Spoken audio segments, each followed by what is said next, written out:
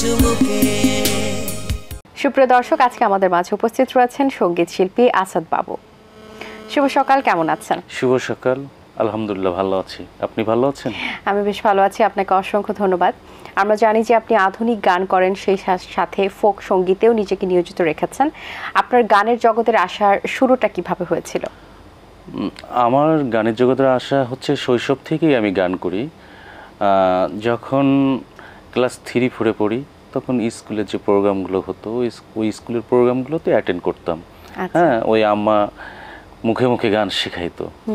কারণ আমার গ্রামের বাড়ি হচ্ছে অনেক দূরে রংপুর অজপাড়াগা যেখানে সঙ্গীতের তেমন কোনো পরিবেশ ছিল না।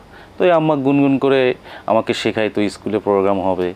ওই জন্য আম্মাকে জেদ করতাম আম্মু আমি গান করব? তখন ওই গান শেখাইতো। আস্তে আস্তে তখন থেকে আমার গানের একটা আলাদা ইয়া ছিল গানের উপরেই।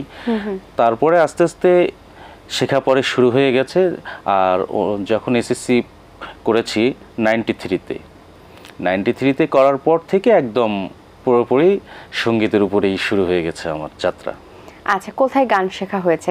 ওস্তাদ কারা কারা ছিলেন? যখন আমি গ্রামে ছিলাম তখন ওস্তাদ আমার জীবনের প্রথম ওস্তাদ ছিলেন হচ্ছে বিবেকানন্দ মনু। তারপর ঢাকায় আসলাম। ঢাকায় এসে চার বছরের বুলবুল ললিতকলা একাডেমিতে চার বছর কোর্স করেছি। ওস্তাদ জাকির হোসেন ফাতেমাতুজ জোহরা ইয়াকুব আলী খান এনার কাছে কিছু তালিম নিয়েছি কিছুদিন। আচ্ছা। আচ্ছা সকালের এই সুন্দর সময় আপনার কণ্ঠে একটি গান শুনতে চাই। কোন গানটি আমাদেরকে শুরুতেই শোনাবেন? গত রমজানের ঈদে আমার সুর এবং মিউজিক আমার কণ্ঠে একটি গান রিলিজ হয়েছিল। আর গানটি লিখেছেন ইংল্যান্ড প্রবাসী মৌ মধুবন্তী। চাঁদ এসে বলে গেছে, চুপি সারে।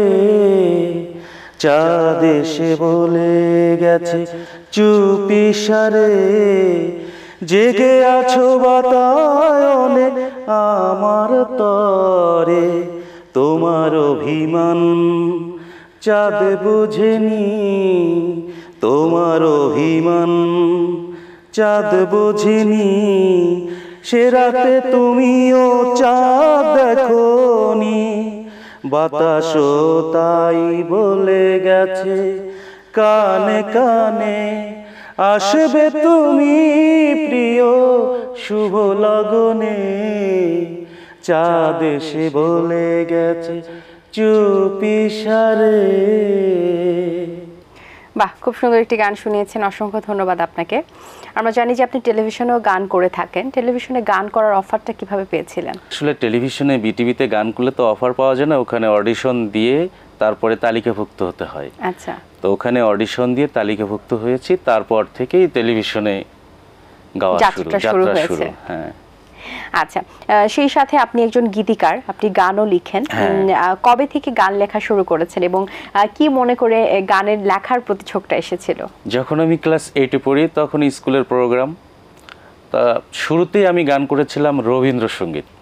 আচ্ছা। গ্রামে তো রবীন্দ্রসঙ্গীত তেমন কোনো ইয়া হয় না। আর আমার এলাকা হচ্ছে ভাওয়াইয়ার এলাকা রংপুর। তা এখন ছাড় বলতেছে তুমি তো রবীন্দ্রসঙ্গীত করো তো তুমি এবার চেঞ্জ করো। চেঞ্জ করে এবার ভাওয়াইয়া গান লিখো। আচ্ছা। তখন মানে ভাওয়াইয়া গান করো। যখন স্যার বলেছিল এই কথাটা তখন চিন্তা করলাম একটা ভাওয়াইয়া গান লিখি।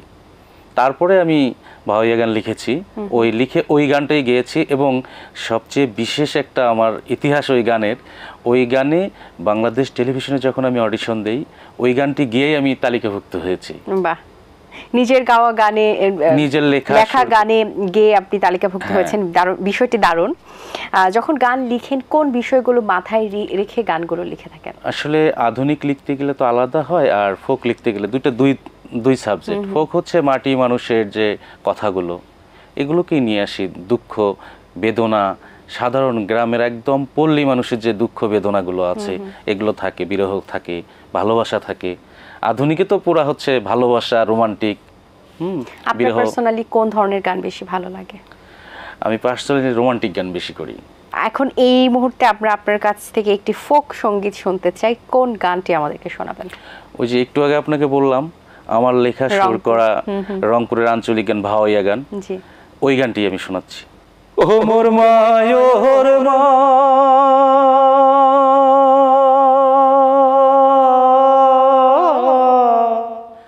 কি ও মায়ুর মা ও কি ও মায়ুর মা আরে টপ করিয়ায় আসিয়া এক না কথা শুনি যাও। ও কি ও মায়ুর মা? ও কি ও মায়ুর মা টপ করিয়ায় আসিয়া এক না কথা শুনি যাও। হালের বেলা হইছে রে মোর হাল যাইম নিহিয়া, ও মুই হাল যাইম নিহিয়া। হালের বেলা হইছে রে মোর হাল জামি নিহিয়া ওমি হাল জামি নিহিয়া। পাছে পাছে আইসে তুই পন্তা মরিজ নিয়া মায়োর মাও। পাছে পাছে আইসে তুই পন্তা মরিচ নিয়া। ও কি ওহো মায়র মাও ও কি ওহো মায়র মাও। টপ করিয়ায় আসিয়া এক না কথা শুনি যাও। তোমরা টপ করিয়ায় আসিয়া এক না কথা শুনি যাও। বাহ গানের কথাগুলো খুব মজাদার। আপনি গানের সুর দেন এবং সেই সাথে আপনি সংগীত পরিচালনাও করে থাকেন। হ্যাঁ। এই কাজটি করতে গেলে আসলে কোন জিনিসগুলোর প্রতি বেশি দক্ষ হওয়া প্রয়োজন? গানের শুরু গান সুর করতে গেলে আসলে বেসিক্যালি আপনার ক্লাসিকের উপর প্রচুর ধারণা থাকতে হবে। হুম? আচ্ছা। ক্লাসিকের উপরে ধারণা থাকতে হবে আর হচ্ছে মিউজিকের ক্ষেত্রে একটু এখন তো আধুনিক সব কিছু হয়ে গেছে। এখন মোটামুটি একটু চেঞ্জিং হয়ে গেছে। আগের যে আমরা যা দেখেছি নব্বই দশকের যে মিউজিক পরিচালনা করে যা অ্যাকুস্টিক যেভাবে ইউজ হতো এখন তো আর সেই অ্যাকুস্টিক আসে না। এখন দেখা যায় ওই ভায়োলিন বাঁশি মাত্র দুই তিনটা ইনস্ট্রুমেন্ট অ্যাকুস্টিক থাকে। আর সবগুলোই তো কম্পিউটার বেজ হয়ে গেছে সংগীত।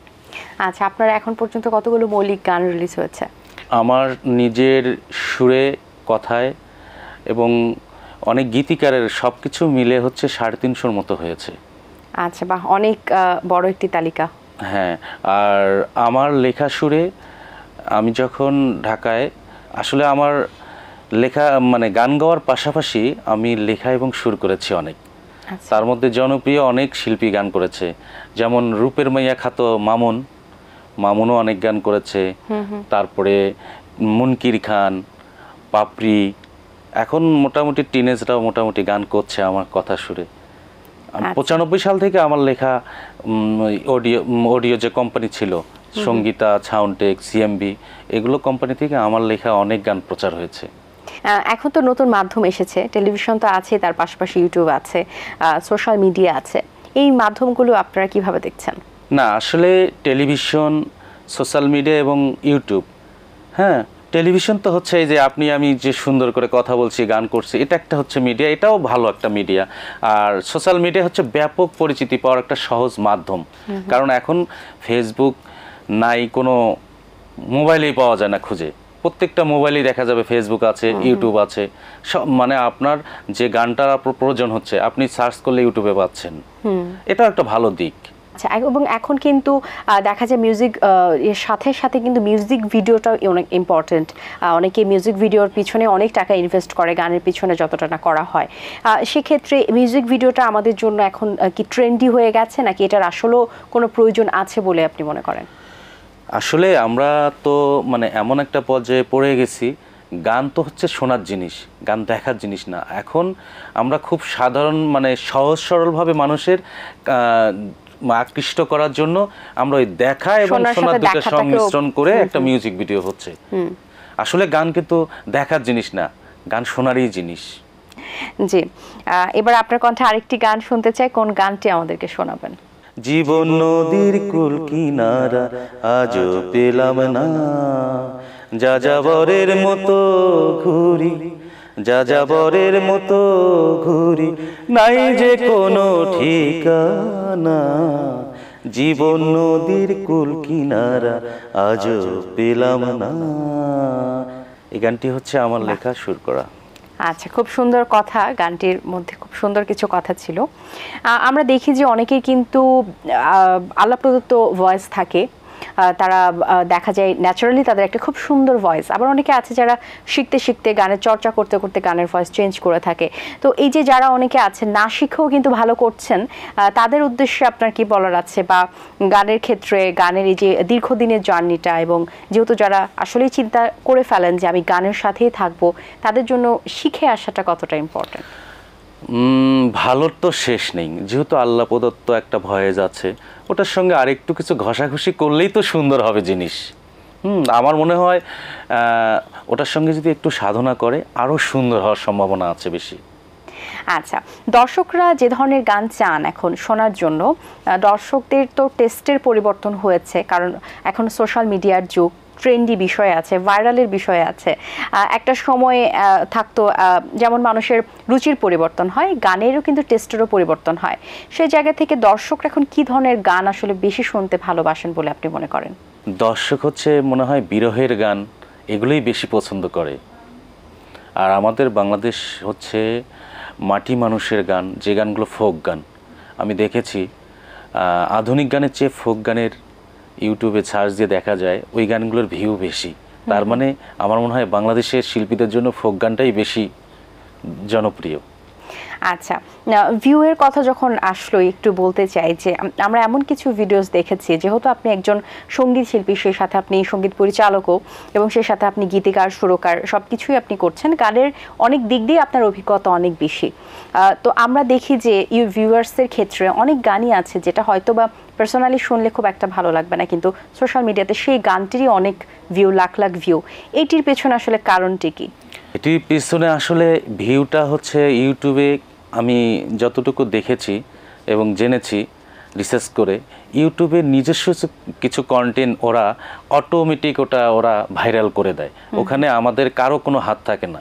হ্যাঁ দেখা যাবে আপনি সুন্দর একটা গান করছেন আপনি অনেকের কাছে শেয়ার করলেন দেখা যা- তারপরও গানটির ভিউ হচ্ছে না। অথচ একটি গান একদম বাজে সুর বাজে কথা মানে কোনো কিছুই নাই। ওটার মধ্যে। দেখবেন ওটা মিলিয়ন মিলিয়ন ভিউ হয়ে গেছে। তার মানে হচ্ছে ইউটিউবে ওই কন্টেন্টটাকে ভাইরাল করে দিয়েছে। আচ্ছা। আপনাকে অসংখ্য ধন্যবাদ অনেক ভালো লেগেছে আপনার সাথে কথা বলে। খুব সুন্দর কিছু গান শুনিয়েছেন। অনেক অনেক শুভকামনা আপনার জন্য। ভালো থাকবেন সবসময়। আপনাকেও অনেক অনেক ধন্যবাদ এবং এটিএন বাংলাকে আমাকে আজকে সুযোগ দেওয়ার জন্য অনেক অনেক ধন্যবাদ। দর্শক, আশা করছি আজকের আয়োজন আপনাদের ভালো লেগেছে। আজ এই পর্যন্তই। আপনাদের সঙ্গে দেখা হবে আগামী পর্বে নতুন কারোর সঙ্গে। সেই পর্যন্ত ভালো থাকুন, সুস্থ থাকুন এবং চোখ রাখুন এটিএন বাংলার পর্দায়। আল্লাহ হাফেজ। দিন আসে দিন যায়, সময়টা চলে যায়, তবু আছি এই বেশ ভালো। জীবনটা রঙময় যেভাবেই হওয়া চাই, নয় কভু সাদা কালো।